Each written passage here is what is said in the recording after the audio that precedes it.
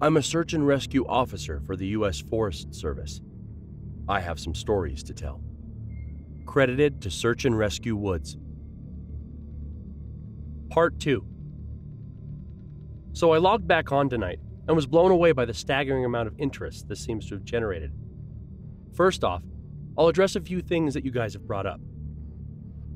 There's been an overwhelming amount of people mentioning the similarity between some of my stories and those of David Paulides. I assure you, I'm not trying to rip him off in any way. I've got nothing but respect for the guy. He's actually what inspired me to write this, because I can verify a lot of things he talks about. We do have a lot of these strange missing persons cases, and most of the time, they aren't solved. Either that, or we find them in places they have no business being. I personally haven't been on many calls like that, but I'll share a few that I've seen, and a story my friend told me that relates to this. There was also a lot of feedback about the stairs, so I'll touch on that briefly here, and I'll also include a story. They come in a variety of shapes, sizes, styles, and conditions.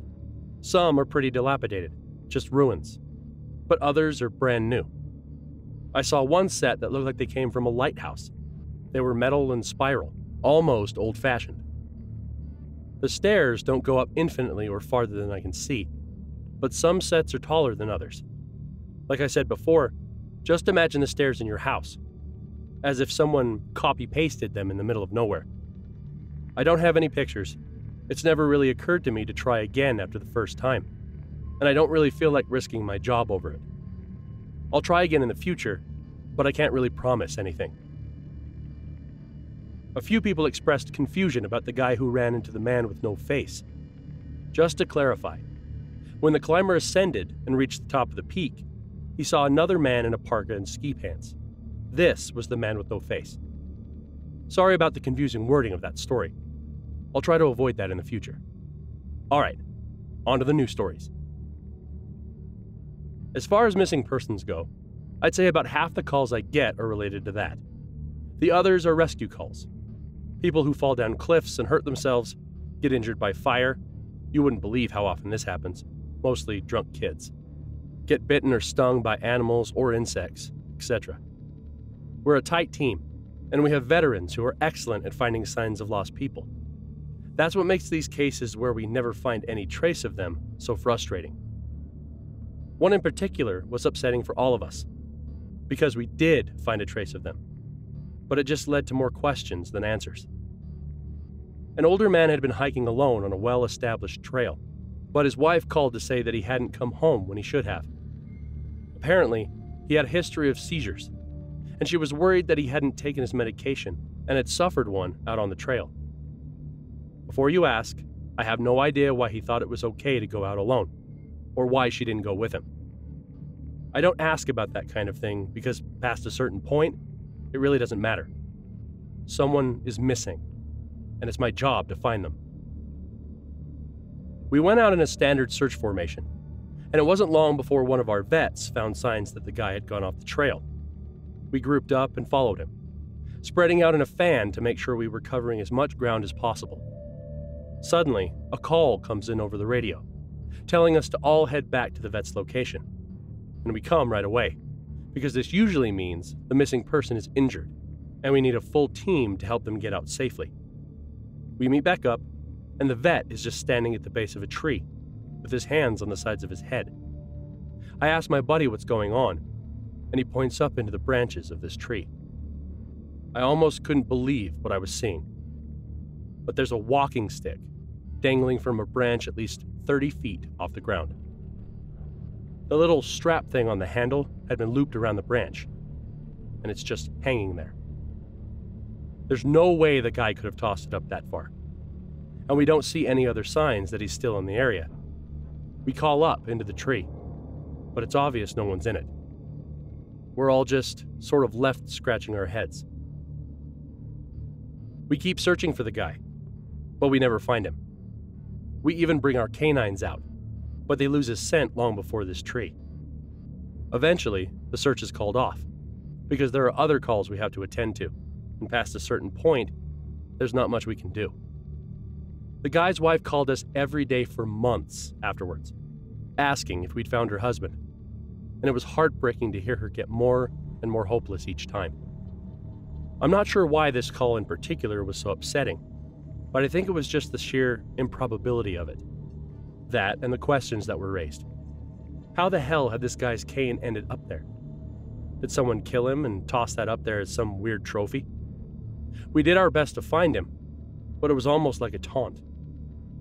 We still talk about that one from time to time. Missing kids are the most heartbreaking. Doesn't matter what circumstances they go missing under, it's never easy. And we always, always dread the ones we find deceased.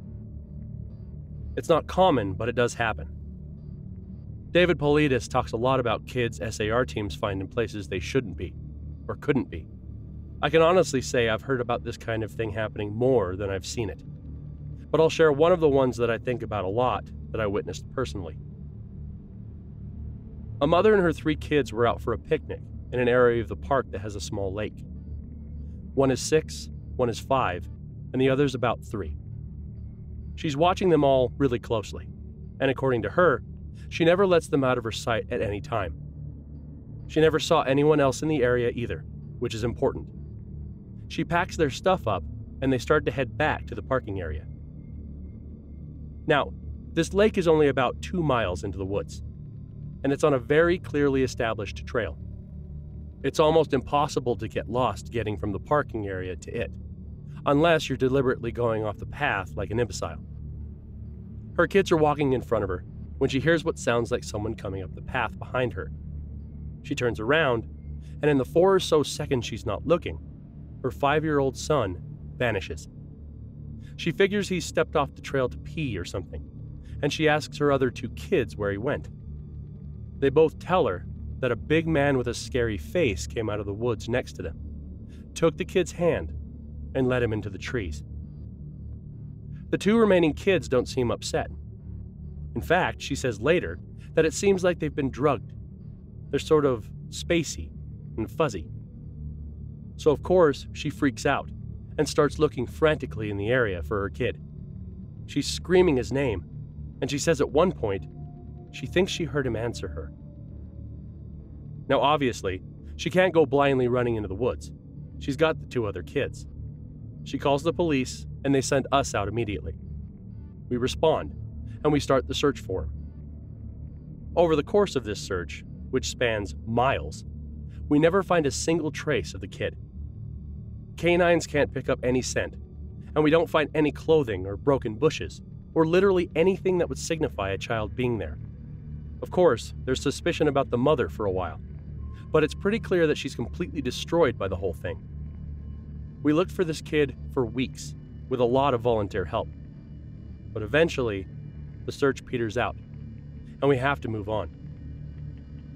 The volunteers keep searching, though, and one day, we get a call on the radio letting us know that a body has been found and needs to be recovered. They tell us the location, and none of us can believe it. We figured it has to be a different kid. But we go out there, about 15 miles from the site where he vanished. And sure enough, we find the body of the kid we've been looking for. I've been trying to figure out how this kid got where he did ever since we found him, and I've never come up with an answer. A volunteer just happened to be in the area because he figured he might as well look in places no one else would think to, on the off chance the body had been dumped. He comes to the base of a tall, rocky slope, and halfway up, he sees something. He looks through his binoculars, and sure enough, it's the body of a little boy, stuffed in a little opening in the rock. He recognizes the color of the kid's shirt, so he knows right away that it's the missing boy. That's when he calls it in, and we're dispatched. It took us almost an hour to get his body down, and none of us could believe what we were seeing. Not only was this kid 15 miles from where he'd started, but there was no possible way he could have gotten up there on his own. This slope is treacherous, and it's hard even for us with our climbing gear. A five year old boy had no way of getting up there. Of that, I'm certain. Not only that, but the kid doesn't have a scratch on him. His shoes are gone, but his feet aren't damaged or dirty. so it wasn't as if an animal dragged him up there. And from what we can tell, he hasn't been dead that long. He's been out there over a month by that point, and it looked like he'd only been dead for, at most, a day or two. The whole thing was unbelievably strange, and was one of the most disconcerting calls I've ever been on. We found out later that the coroner determined the kid had died from exposure. He'd frozen to death, probably late at night, two days before we found him. There were no suspects and no answers. To date, it's one of the weirdest things I've ever seen. One of my first jobs as a trainee was a search op for a four year old kid that had gotten separated from his mom. This was one of those cases where we knew we were going to find him because the dogs were on a strong scent trail, and we saw clear signs that he was in the area. We ended up finding him in a berry patch, about a half a mile from where he'd last been seen. Kid wasn't even aware that he'd wandered that far. One of the vets brought him back, which I was glad for because I'm really not good with kids. I find it hard to talk to them and keep them company. As my trainer and I are headed back, she decided to take me on a detour to show me one of the hot spots where we tend to find missing people. It's a natural dip in the land near a popular trail, and people will usually move downhill because it's easier. We hike out there. It's a few miles away, and we get there in about an hour or so. As we're walking around the area and she's pointing out places she's found people in the past, I see something in the distance. Now, this area we're in is about 8 miles from the main parking area though there's back roads you can take to get closer if you don't want to hike that far. But we're on state protected land, which means there can't be any kind of commercial or residential development out here. The most you'll ever see is a fire tower or makeshift shelter that homeless people think they can get away with building. But I can see from here that whatever this thing is has straight edges. And if there's one thing you learn quickly, it's that nature rarely makes straight lines. I point it out, but she doesn't say anything. She just hangs back and lets me wander over and check it out. I get within about 20 feet of it, and all the hair on the back of my neck stands up. It's a staircase. In the middle of the fucking woods. In the proper context, it would literally be the most benign thing ever. It's just a normal staircase, with beige carpet and about 10 steps tall. But instead of being in a house, where it obviously should be, it's out here in the middle of the woods. The sides aren't carpeted, obviously, and I can see the wood it's made of. It's almost like a video game glitch, where the house has failed to load completely and the stairs are the only thing visible. I stand there, and it's like my brain is working overtime to try and make sense of what I'm seeing. My trainer comes and stands next to me, and she just stands there, casually looking at it as if it's the least interesting thing in the world. I ask her what the fuck this thing is doing here, and she just chuckles. Get used to it, rookie. You're gonna see a lot of them. I start to move closer, but she grabs my arm. Hard. I wouldn't do that, she said. Her voice is casual, but her grip is tight. And I just stand there, looking at her. You're gonna see him all the time. But don't go near them. Don't touch them. Don't go up them. Just ignore them. I start to ask her about it, but something in the way she's looking at me tells me it's best if I don't. We end up moving on, and the subject doesn't come up again for the rest of my training. She was right, though. I'd say about every fifth call I go on, I end up running across a set of stairs. Sometimes they're relatively close to the path, maybe within two or three miles.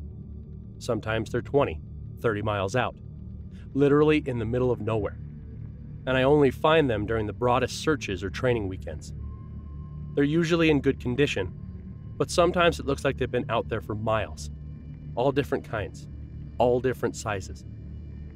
The biggest I ever saw looked like they came out of a turn of the century mansion and were at least 10 feet wide, with steps leading up at least 15 or 20 feet. I've tried talking about it with people, but they just give me the same response my trainer did. It's normal. Don't worry about it. They're not a big deal. But don't go close to them or up them. When trainees ask me about it now, I give them the same response. I don't really know what else to tell them. I'm really hoping someday I get a better answer, but it hasn't happened yet. This is another one that was less spooky and more sad. A young man went missing late in winter, when realistically, no one should be going that far out onto the trails. We close a lot of them, but some remain open year round unless there's a shitload of snow. We didn't opt for him, but we had about six feet of snow on the ground. It was an unusually heavy snow year, and we knew it wasn't likely that we'd find him until spring when the thaw came. Sure enough, when the first big thaw came, a hiker reported a body a little ways off the main trail. We found him at the base of a tree, in a pile of melted snow. I knew right away what had happened, and it scared the living shit out of me. Most of you who ski or snowboard or spent any amount of time on a mountain will probably have guessed too. When snow falls, it doesn't collect as thick in the areas beneath the branches. It happens most with fir trees, because they have a sort of closed umbrella shape. So, what you end up with is a space around the base of the tree that's filled with a mixture of loose, powdery snow, air, and branches. They're called tree wells, and they're not immediately obvious if you don't know what you're looking for. We put up signs in the Welcome Center, big ones, letting people know how dangerous they are. But every year that we get an unusual amount of snow, at least one person doesn't read them, or doesn't take the warning seriously, and we find out about it in the spring. My best guess is that this young man was hiking and got tired, or maybe a cramp from walking in the deep snow. He went to go sit at the base of the tree, not knowing that there was a tree well, and fell in. He got stuck with his feet up and the surrounding snow caved in around him. Unable to free himself, he suffocated. It's called snow immersion suffocation, and it doesn't usually happen except in really deep snow. But if you get stuck in a weird position, like this guy did, even six feet of snow can be lethal. What scared me the most was imagining how he must have struggled. Upside down in the freezing cold, he didn't die quickly the snow would have formed a dense, heavy pile on top of him, and it would have been literally impossible to get out. As it got harder to breathe, he would have known what was happening. I can't even imagine what he was thinking in his last moments. A lot of my less outdoorsy friends want to know if I've ever seen the Goat Man while I've been out on calls. Unfortunately, or I guess fortunately, I've never had anything quite like that happen. I guess the closest thing was the whole black eyed man thing, but I didn't see anything. However, there was one call where I had something kinda similar happen, but I'm not sure I'm willing to chalk it up to the goat man. We'd gotten a report that an older woman had fainted along one of the trails and needed assistance getting back down the main area. We hike up to where she's at, and her husband is just beside himself. He runs, well, I guess more jogs to us and tells us that he was a little ways off the trail looking at something when his wife starts screaming behind him. He runs back to her, and she's passed out on the trail. We get her on a backboard, and as we're getting her down to the welcome center, she comes to and starts screaming again. I calm her down and ask her what happened. I can't remember verbatim what she said, but essentially, what happened was this. She'd been waiting for her husband when she started hearing this really strange sound. She said it sounded sort of like a cat, but it was off somehow. And she couldn't quite figure out why. She went a little ahead to try and hear it better, and it sounded like it was coming closer. She said the closer it got, the more uneasy she was, until she finally figured out what was wrong. I do remember this next part, because it was so weird that I don't think I could forget it if I tried. It wasn't a cat, it was a man saying the word meow over and over. Just meow, meow, meow. But it wasn't a man. It, it couldn't have been. Because I've never heard a man make his voice buzz like that. I thought my hearing aid was going out, but it wasn't. I adjusted it, and it still sounded all buzzy. It was awful. He was coming closer, but I couldn't see him. And the closer he got, the more scared I was. And the last thing I remember was a shape coming out of the trees. I guess that's when I fainted. Now, obviously, I'm a little perplexed as to why a guy would be out in the fucking woods chanting meow meow at people.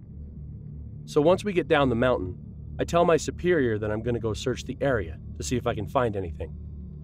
He gives me the go ahead, and I grab a radio and hike back to where she fainted.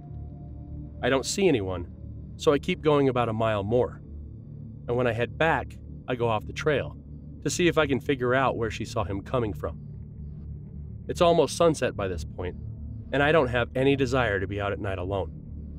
So I just sort of write it off and make a mental note to check it out again tomorrow. But as I'm headed back, I start to hear something in the distance. I stop and I call out for anyone in the immediate area to identify themselves. The sound didn't come closer or get louder, but it sounded exactly like a man saying meow, meow in this really odd monotone. As comical as it makes it sound, it was almost like that guy on South Park with the electrolarynx, Ned. I go off the trail in the direction I think it's coming from, but I never seem to get closer. It's almost like it's coming from all directions. Eventually, it just sort of fades out, and I ended up going back to the Welcome Center. I didn't get any further reports like that, and even though I went back to the area, I never heard that exact sound again. I suppose it could have been some stupid kid out there fucking with people, but even I have to admit, it was weird. So this kind of turned into a massive wall of text, and for that I apologize. I wanted to get to the stories my friend told me, and he does have some good ones, so I'll post those tomorrow evening. I also have a few more of my own I think you guys will like. I'm sorry to keep you all in suspense again. Hopefully, the stories here make up for it and help you get through the next 24 hours until I can post again. Edit. Since it seems like all of you would like to hear more, tomorrow I'll write up as many stories as I can and do a massive post. I'll include my friends' stories, and I'll see if I can get a hold of a few more people who might have interesting things to talk about. I just wasn't sure how people felt about big, huge walls of text, but if you're all okay with it, I'll post lots of stories. Hey, everybody. This is Winterfreshest. I just wanted to say thank you for taking time out of your day to watch one of my videos. If you enjoy my videos, feel free to like and subscribe. Also, if you have any requests for other narrations, please comment down below. Thanks again, everyone.